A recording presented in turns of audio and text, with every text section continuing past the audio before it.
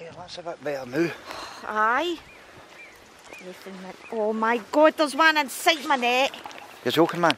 Eric, go and save me. How? Ah! What did you... Doing that You tell me to save you.